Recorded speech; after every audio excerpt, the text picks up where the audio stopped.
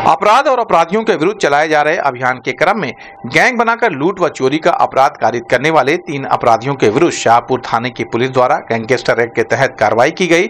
इस संबंध में मीडिया कर्मियों से बात करते हुए एसपी सिटी कृष्ण कुमार विश्नोई ने बताया कि गैंग बनाकर लूट व चोरी का अपराध कारित करने के अपराधों पर अंकुश लगाने के अनुक्रम में गैंग लीडर मेनुद्दीन अंसारी पुत्र नसरुद्दीन अंसारी व अभियुक्त इमरान अंसारी पुत्र स्वर्गीय जमालुद्दीन व मोहम्मद जैद पुत्र सैफुद्दीन के विरुद्ध गैंगस्टर एक्ट के तहत कार्रवाई की गई है।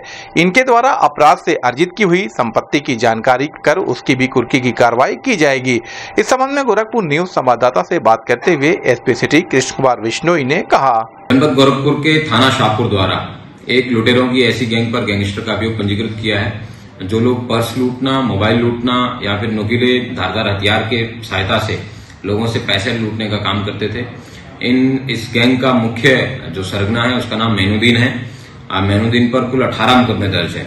इस पर पूर्व में गैंगस्टर का अभियोग भी पंजीकृत हुआ था, लेकिन उसके बावजूद इस व्यक्ति ने अपने अपराध करने की दुनिया में बिल्कुल भी कोई कसर नहीं छोड़ी। बार बार अपराध करता रहा, इसलिए दोबारा से इस व्यक्ति पर अभियोग गैंगस्टर का अभियोग पंजीकृत किया गया है। उसके साथ साथ दो अन्य इसकी गैंग के सदस्य हैं जिनका नाम इमरान अंसारी और मोहम्मद जैद हैं। इन दोनों व्यक्तियों के खिलाफ भी गैंगस्टर का अभियोग पंजीकृत किया गया है। इन पर भी कई मुकदमे दर्ज हैं, जिनमें रंगदारी और लोगों से पैसे ऐंठना और लूट करने के अपराध इनके द्वारा कारित किए गए हैं। जराइम की दुनिया से इनके द्वारा कमाई गई जो भी संपत्ति है, उसको भी गैंगस्टर एक्ट की धारा चौदह एक के तहत जब्त किया जाएगा और आगे की विधिक कार्रवाई है, वो जल्दी सुनिश्चित